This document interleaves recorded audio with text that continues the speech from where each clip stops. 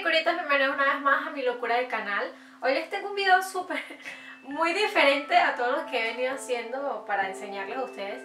Pero hoy va a ser de verdad algo totalmente distinto porque les voy a hablar de algo que es súper extraño que para mí con las investigaciones que hice me pareció como que, en serio, eso existe. Y es que te voy a hablar de una enfermedad que yo personalmente la tengo, pero que en realidad no tiene mucho efecto en mí, digámoslo así.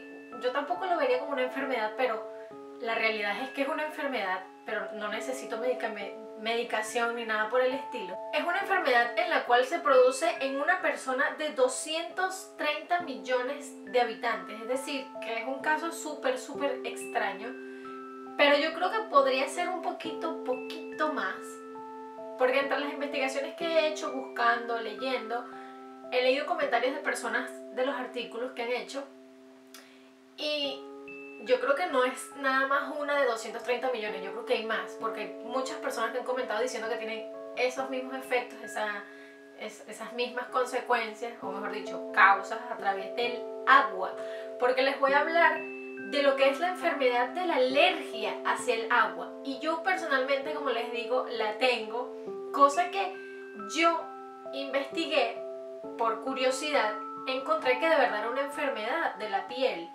Es decir, que cuando tienes contacto con el agua, no sé si a todas las personas les pasará igual, pero en mi caso es así, sea el agua de la ducha, el agua de la piscina o el agua del mar, cualquier tipo de agua, cuando yo sudo también a veces me da la reacción, cuando por ejemplo estoy en el gimnasio, estoy corriendo o X, estoy en la calle y sudo mucho, siento que me empieza a picar la barriga, siento que me empieza a picar el cuello y es el sudor mismo. A veces, no es siempre, no es todos los días, es muy escaso, pero me sucede.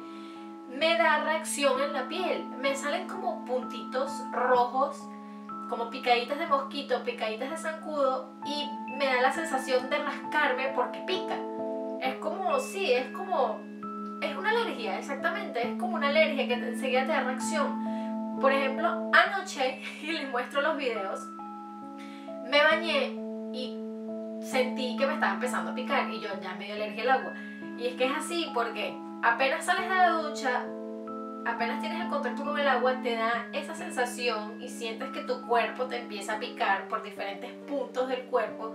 Y cuando ves, tienes puntitos rojos y tienes el área, como decir, sí, rosadita y te da comezón, te da piquilla y te quieres rascar todo, así como cuando te pica un zancudo y tú ves el puntito rojo y te quieres rascar porque pica. Bueno, es la misma sensación, es igual. En mi caso, hay muchos casos que son mucho más críticos, como es el caso de Alexandra Allen, es una chica europea que el caso de ella sí es como bastante, bastante, bastante preocupante porque la pobre no puede tener ningún tipo de reacción con el agua ya que enseguida le da, eh, mejor dicho, no puede tener ningún contacto con el agua porque enseguida le da la reacción alérgica, pero el caso de ella es tan fuerte, tan, tan, tan fuerte, que ella le salen ronchas y siente que, o sea, en sus relatos, dice que le, le, le quema, le arde, que es una cuestión como si lo estuvieran echando ácido en el cuerpo. Y de verdad que debe ser súper doloroso esto, porque imagínense, tú te duchas y te estás mojando todo el cuerpo y de repente empiezas a sentir ese dolor. Ella dice que es tan fuerte que hay veces que se le hacen ronchas y le sale sangre, o sea que es casi que imposible que se bañe. Ella dice que nada más a la semana toma tres duchas y que son sumamente rápidas porque el dolor es tan impresionante que le, da dolor de cabeza, se pone a llorar y etcétera, etcétera. O sea, son diferentes los casos y hay gente que también dice que le da alergia al agua caliente y otras que le dicen que le da alergia al agua fría. En mi caso yo no tengo de verdad ninguna em, alergia específica a la temperatura del agua. Yo soy cualquier agua y cualquier temperatura. Pero no es un caso crítico como les digo, es simplemente que es como que si me estuviera bañando y en ese momento que me bañé me picaron unos zancudos, unos mosquitos y cuando salí de la ducha, ah, me di cuenta que me picaron los zancudos y me pico y me, me rasco pero no es nada del otro mundo. Y eh, se quita como a los 15, 20 minutos esos puntitos. O sea, yo me rasco y ya me, me se me quita la necesidad de rascarme porque ya sacié la necesidad de, de rascarme en el cuerpo, en la zona afectada. Y como vieron aquí en, como pueden ver aquí en mis videos, yo les muestro más o menos lo que pude grabar, porque fue cuando salí de la ducha, y ven que en la parte de mi ombligo, en la, o sea, en mi barriga, tengo mi espalda, hasta vi que me salieron erupciones en lo que sería la parte del cuello y la cara, sí, porque hay veces que me salen dos, tres puntitos en la cara y en la frente y me rasco porque me pica. Pero como les digo, no es nada del otro mundo, no, no tiene, digamos, en mi caso, no tengo de qué preocuparme porque no es algo que necesite algún medicamento, algún tratamiento. De hecho, no existe cura para esta alergia. Es una alergia en la cual es muy extraña y hay estudios recientes que creen que es como una reacción de, ¿cómo se diría? De, de contraatacar el agua porque es como algo que está en la piel que reacciona al agua en forma de protección. Ahora les leo lo que diría el artículo. Según estudios, la reacción alérgica al agua se debe a la presencia de la piel de un antígeno, que sería una sustancia que activa el sistema inmune hidrosoluble. Es decir, que al contacto con el vital líquido se disuelve, en este caso el agua, el vital líquido sería el agua, se disuelve, por lo que atraviesa la capa externa del tejido y se hace, perdón, y hace que las células de defensa liberen histamina, medidor químico secretado especialmente por, algunas, por algunos glóbulos blancos, el cual causa dilatación de vasos capilares y edema. Igualmente, se conoce un caso en los que los cambios hormonales posteriores al embarazo desencadenaron en la paciente piel con alergia al agua. ¿Esto qué quiere decir? Que puede ser que después del embarazo te dé este tipo de alergia. De hecho, yo, desde mucho antes que yo empecé a ver que me daba alergia el agua, no que sabía que era alergia el agua, yo no sabía qué era, pero yo echando broma pensaba y les decía a todo el mundo, no es que yo soy alérgica al agua, no es que soy alérgica al agua, y obvio, como es una alergia que no se conoce, pues la gente se reía conmigo. Y como les digo, fue hace poco que descubrí que de verdad existe esta alergia. Y mi mamá me dijo que ella cuando era joven también tenía esta alergia y después se le quitó con el tiempo. Yo espero que si es hereditaria, según ese artículo, como digo, no lo confirmo porque no sé, es el único sitio donde he leído que dicen que puede ser hereditaria. Yo espero que algún día se me quite porque de verdad que al momento que te da el fastidiosito porque te pica, es como que si estuvieras en un sitio en la selva y te picaran muchos mosquitos y obvio eso te pica y te da sensación de, de, de querer rascarte y te desespera. Pero como les digo, es algo que yo controlo porque no es tan fuerte como me da a mí, es muy relajado a comparación de, por ejemplo, esta chica Alexandra Allend, que ella, pobrecita, de verdad sufre con esta enfermedad, que según dicen que puede hasta morir porque es una cuestión que sangra. Y es súper extraño ver que alguien pueda ser alérgico a algo tan vital para nosotros que es el agua y bueno, como les digo, es algo que de verdad es, extraño. Y lo peor de todo es que esto no tiene cura, esto no tiene ningún tratamiento ni nada. La única opción que te puedes hacer o poner es simplemente cremas hidratantes o pomadas o cuestiones que te relajen esa sensación tan desagradable en la piel. No hay ninguna medicina, ningún medicamento que te pueda sacar de esta alergia. Y bueno, eso es lo que les quería decir con respecto a esto para que de verdad se enteren de que la alergia al agua existe.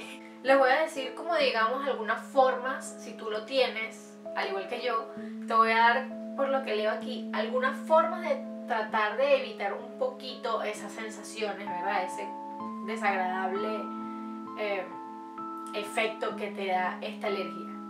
Y una es evitar al máximo el contacto con el agua.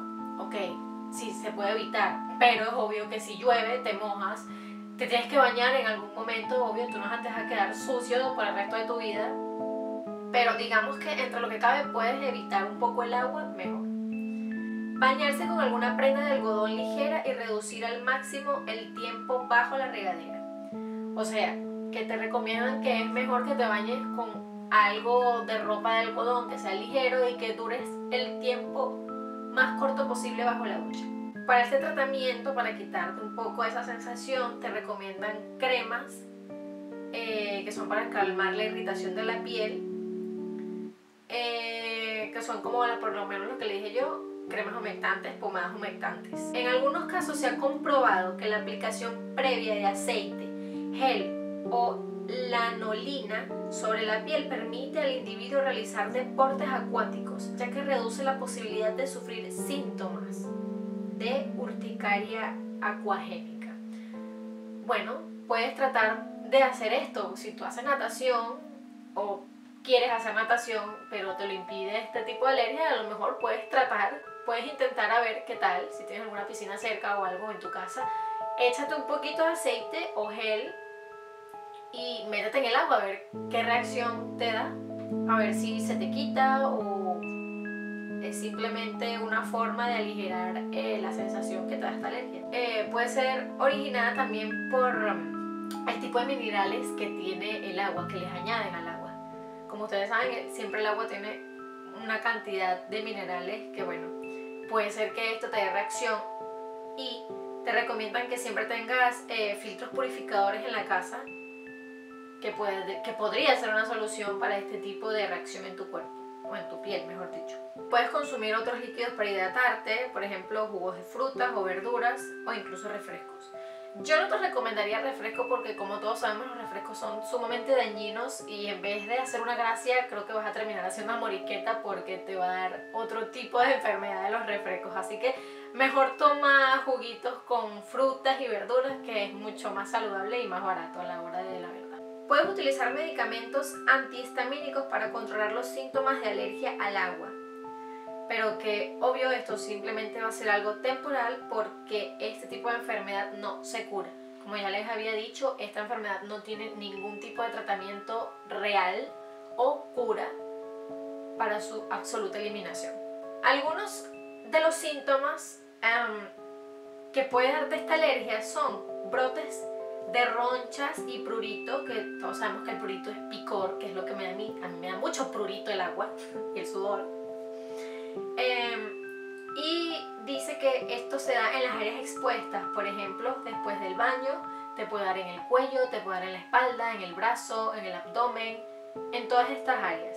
Hay veces que también a mí me dan en las piernas, cuando, cuando tengo así que me dejo el agua a veces que también me da. Puede ser uno de los síntomas dolor de cabeza en ocasiones. A mí, gracias a Dios, nunca me ha dado esto. Como les digo, mi alergia es totalmente, totalmente baja. Es simplemente prurito y ya. En casos graves se ha registrado que al beber agua el paciente presenta costilleo e inflamación de labios. Entre paréntesis, edema de labios. E incluso obstrucción de garganta. O sea, imagínense lo difícil y lo peligroso que puede ser esta alergia en ciertos casos que podría llegar a matar porque inflamación de garganta es algo de verdad que es, yo diría, es muy grave y es muy, muy peligroso para uno. Es mejor buscar ayuda médica urgente.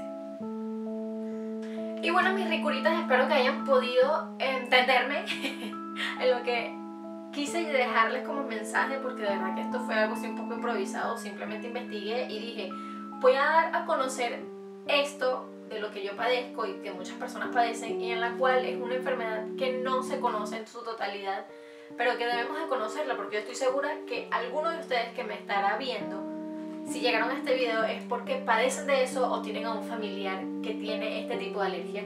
Y sí, yo les recomiendo que vayan al médico siempre para que se hagan un chequeo y ver qué tipo de grado puede llegar a ser tu alergia, porque de verdad que es muy importante, como ya saben, puede llegar a ser muy peligrosa. Gracias al universo y a la existencia, mi grado es muy bajo, como les digo, es nada más pruritas, comezón y listo. No tengo otro efecto y espero que no me llegue a más larga. Y entonces, bueno, nada, mis ricuras, espero de verdad que hayan aprendido algo nuevo y nada. Por supuesto, siempre lo mejor para ustedes. Nos vemos en otro videito. Recuérdense que me pueden dejar sus comentarios aquí abajo. Y comparte este video, de verdad, compártelo con tus amistades, tus amigos, tu familia, tu hermano, tu hermana, etcétera. Cualquier persona que le pueda llegar a este video para que pueda aprender un poquito más de lo que somos nosotros los seres humanos y de esta enfermedad que es totalmente desconocida hasta para los mismos científicos y médicos. Y nada, dale like si te gustó y nos vemos en otro videito, mis ricuritas hermosas y preciosas.